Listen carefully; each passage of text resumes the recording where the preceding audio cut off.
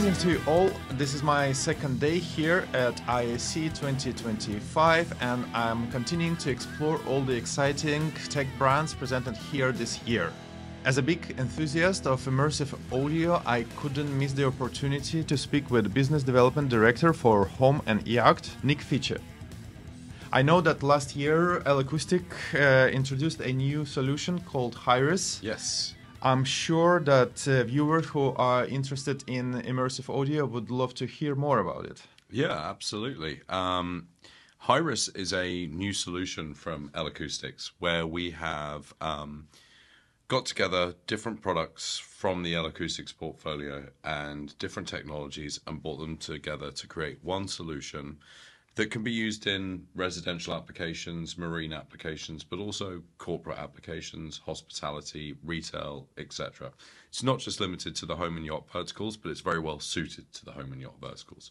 It's a solution which has our loudspeakers in it, it has our subwoofers in it, it has our amplified controllers in it. But where the real magic comes is we use the L-ISA processor. L-ISA is uh, stands for L Acoustics Immersive Sound Art.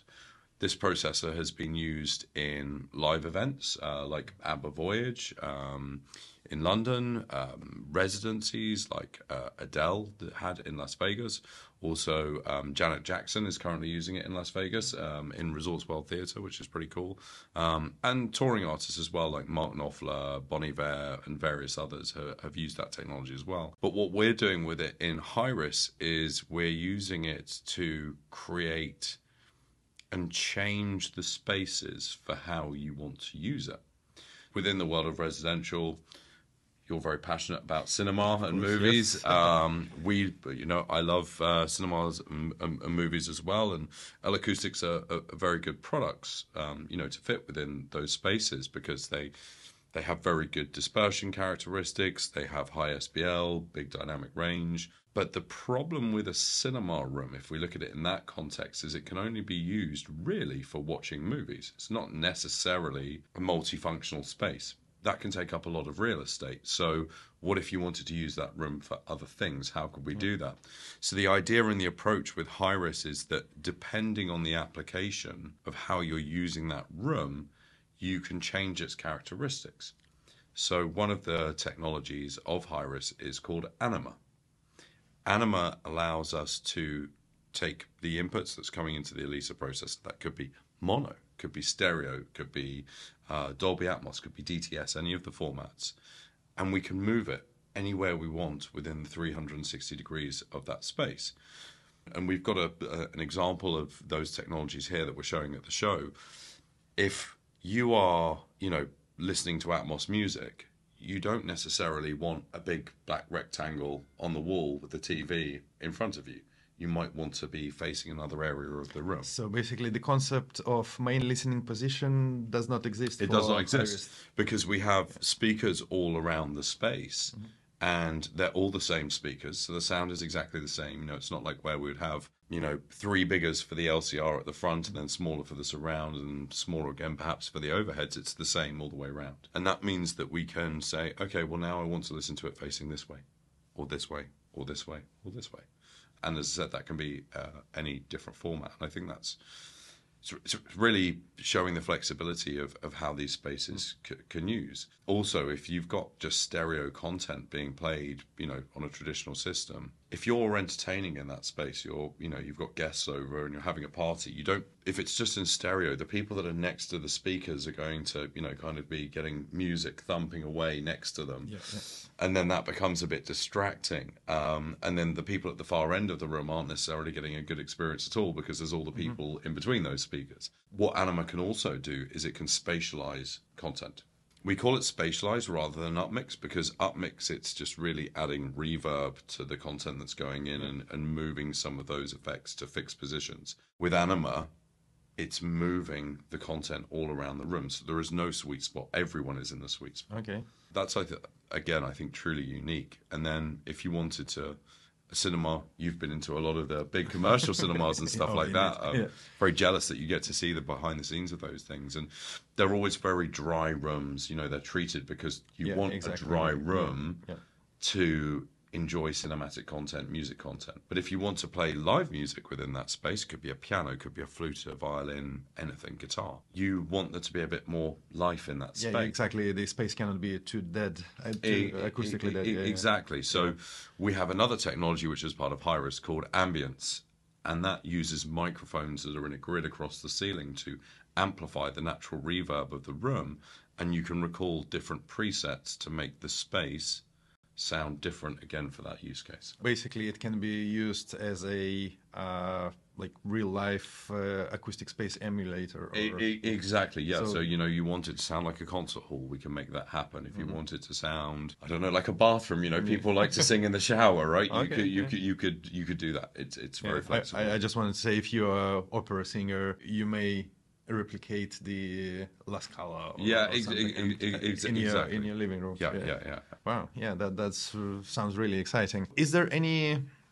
new acoustic products which were introduced, uh, especially for uh, for HYRISS? So w- w- within the within the HYRISS solution, the loudspeakers, depending on the size and the space of the room, we would Mm-hmm. pick different loudspeakers from the portfolio. So it's completely customizable. yeah. Completely customizable. Um, you can start. The smallest room can be is about forty-five square meters. Okay. Um, we have on our booth here a much smaller space than that. We've managed to get a lot of the technologies working. It's pretty convincing. It's not a HYRISS, but it's the technologies of it to, to kind of tease to get people to come to London, um, to the, where we've got the showroom there. Um, so, and we're using X6Is there for that demonstration, which worked really, really well. And we have X4Is on the ceiling as well with a single Syva sub. In London, we use the Soka loudspeakers paired with SB10 subwoofers um, because it's a much bigger space. It's about 90 square meters. And then we've got X6Is for the height channels in that space as well. So, and you can go bigger, bigger, So bigger. if, if someone has a bigger space, Syvas can be used as well. Absolutely, and, yeah. uh, Yeah, if if you want to scale and go really Mm-hmm. big, if it's a big corporate space or something, like think like a um a ballroom in a hotel or a convention Yeah, center or something yeah. like that, where you know one day they're hosting a wedding in there, there's a live band, there's a DJ, something like that, but then the next day it's a corporate you know company coming in there and and and doing a sales presentation or something Mm. like that. You know, you would need to have possibly line array technology for that. So you might be using, you know, Karas, you could be using um, Kiva from our range, you could be using any of the products, but as long as they're the same all the way around, you can you can still use HYRISS. So typically, how many speakers have to be around you to achieve uh, So I- the- I- that experience? Ideally, you want to have a speaker with about one and a half meter gap in between each loudspeaker. The reason for that is because when you're spatializing content, if there's big gaps in between them, then you suddenly feel gaps. It's not immersive. Yeah. Um, so you know, it's an ideal situation is is one and a half meters. The, you know, the closer they are, the better. Um, but of course, if the space is really big and you've got wide dispersion from the products, you know, you, you can you can cover things in different ways as well. So we're all familiar with the standard uh, home cinema layouts, like uh, 7.1.4.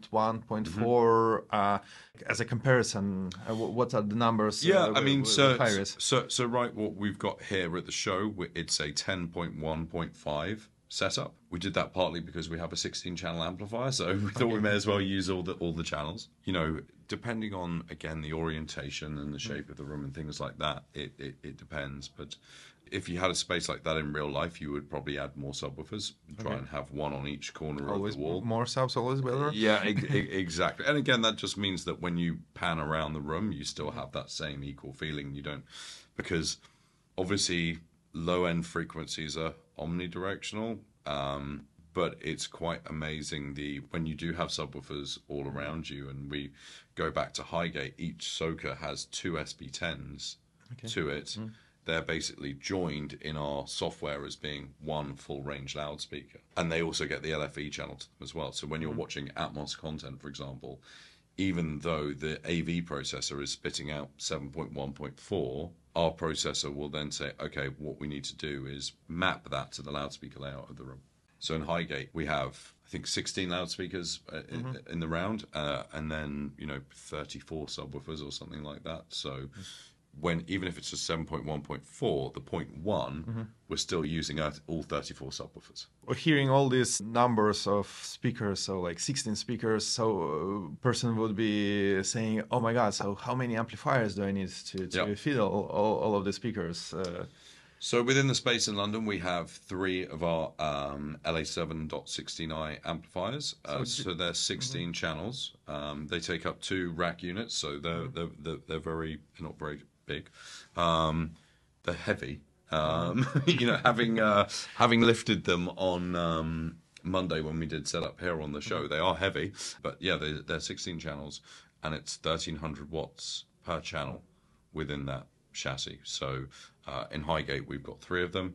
Four of the channels actually aren't even used in that setup. And here at the show, we've got one that's driving it. so basically, no uh, human tall racks. Uh, No, I, I, quite I think the rack we've got here at, at the show is is 16U or something like that. You know, so it's that big. It's, Oh wow! So that, that that's quite impressive and so much power in uh, su- Yep. such a small small enclosure. Yeah, and I, I think you know that the, the loudspeakers, the subwoofers, obviously they take up space, but we want to make sure that you know, especially in in residential properties, super yachts, especially even more so, space is a premium. You know, every square meter has a cost attached to it, and clients don't want to be paying for space for just equipment, which is big. Yeah, yeah. It's it's not a secret because I already visited the showroom in uh, Highgate and I do have that footage and it's just waiting to be edited. Stay tuned and uh, hopefully really soon uh, I will release that video as well. Yeah.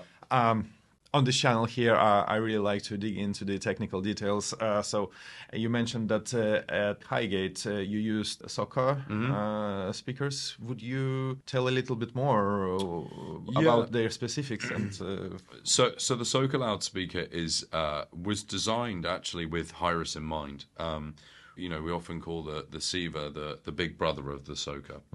If we go back actually to to Syva, Syva was designed to replicate K2, which is one of our second biggest boxes used in tours, festivals.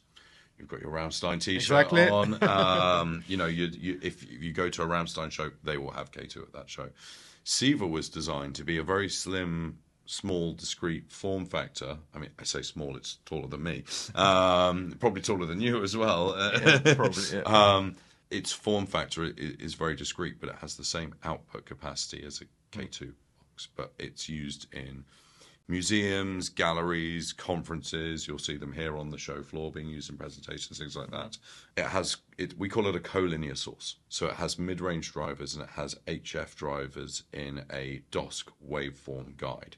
So that has a slight curve in the middle, and it's also um, angled, so that essentially what we're doing is we're making the high frequencies coming out so it's super super directional um, because that's what you want to be able to achieve at big distances. Um, it's very easy for low end frequencies and mid range frequencies to, to travel distance but it's the high frequencies that, that struggle. So we, we're through that waveform technology we're guiding it basically to the listener. But that product was never designed for real you know integration um, within the fabric of a building. It, it can be, but it wasn't its primarily kind of design. So, what our product management team wanted to do is create a product which had the same characteristics but could be integrated within a wall. So, Soka is available as an on wall product or an in wall product. And it has that same technology within it. So even though you don't see the visible curve on the on the front grill because the front grill is flat, if you take the grill off, it is behind that that curve. Um, and that's so that you, you're still getting that same um, technology within there.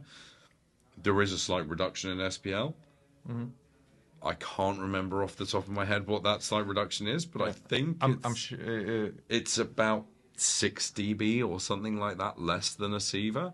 Um, it's quite amazing because we, we launched, when we launched Soka, we launched the SB6 as well, subwoofer, as a companion to it. That's a dual 6.5 inch subwoofer.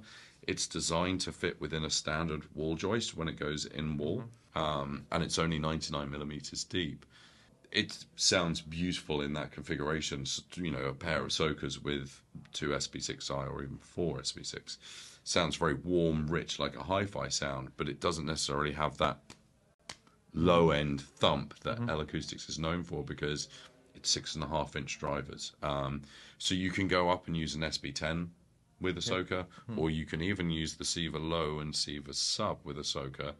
And we've we've done hmm. this. You know, we've kind of gone through and said, I remember we did a just before we launched it, we did some listening sessions um, in Marcoussis, which is where our headquarters are outside of Paris. And we did these listening sessions, and we went, okay, how does it sound with the SB6, the SB10, hmm. Syva low, Syva sub, and it just just gets bigger and bigger and bigger. The the Soka can all day long keep up. So it, it really depends on the application, what you're using it for, as to what sub Okay. you'd bear. So it's basically a miniature line array in your living room. Exactly right. Oh, yeah, yeah, yeah. We've we've done hi-fi shows and things like that in the past, and people kind of go, Mm-hmm. "Acoustics, you're you're you make PA, you do, you, you don't make Mm-hmm. hi-fi," and it's like you have to remember what the ethos of L Acoustics was right at the very beginning when when when the company was founded. Is the whole intention was to make the artist sound as true to life as possible on a big scale.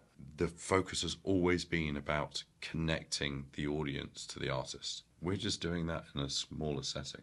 Big thing for us at the show here is we're talking about shared experiences um, and improving the shared experience. Um, you know, HYRISS is about that, um, and everything else we're doing is is really about making sure everyone has the best experience, whether that's at a live event or in their own home. One of the latest products in the L Acoustics uh, lineup is uh, X6i. I know because I've been there. I, I know they used uh, the, as a height channels uh, at uh, HYRISS showroom in London. So, would you? Yeah, so, so the about- X6i is was launched last year at ISE um, here in Barcelona. That's a six-inch coaxial point source loudspeaker. Because it's on a height and it's coming down you, you want a big wide dispersion. Um, so if you were to put a, a, a you know a product like a Soka in the ceiling, it would sound It- it bizarre just because it wouldn't would work, be panning the sound the wrong way. Um, so having a coaxial point source is, is is much better for that kind of equal dispersion and almost you know like when you're in the shower you want to be Yeah, yeah. covered Almost like a wash light. I- I- Yeah, I- yeah, yeah. exactly right and and I, you, you lead on to an interesting point there actually Mm-hmm. of of you know going back to HYRISS and, and what it's about is when we're doing the design with HYRISS for for real projects is we talk about like designing with light Mm-hmm. in lighting designers talk about painting room with light we're taking the same Mm-hmm. approach but we're painting the room with sound If someone is interested, uh, how would it be possible to experience HYRISS?